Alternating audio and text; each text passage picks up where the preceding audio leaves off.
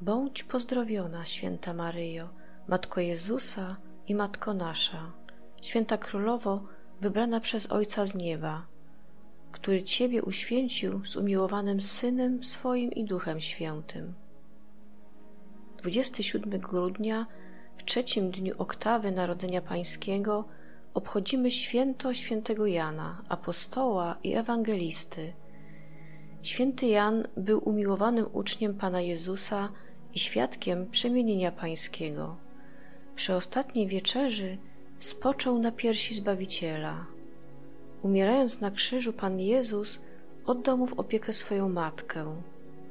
Ewangelia świętego Jana uzupełnia pozostałe Ewangelie i zawiera najgłębszy wykład tajemnic Bożych. Modlitwa w Dzień Świętego Jana. Jezu, Zbawicielu nasz, Tyś pozwolił Janowi Świętemu spoczywać na piersiach swych przy ostatniej wieczerzy, aby wynagrodzić go za niewinność serca i nadzwyczajne przywiązanie do swej osoby. Racz łaskawie i mnie udzielić podobne gorącej miłości, abym tak jak święty Jan kochała Ciebie prawdziwie, kochała Twoją świętą naukę, szła wszędzie za Tobą, nie lękając się szyderstw i złośliwości ludzkiej, a nawet cierpień i męki dla wiary i imienia Twojego świętego. O wielki apostole, któryś szedł za pojmanym Jezusem śmiało aż na górę Kalwarii i stałeś z Marią i niewiastami pod krzyżem umierającego Zbawiciela. Tyś w nagrodę swej wierności i miłości został oddany w opiekę Najświętszej Marii Pannie.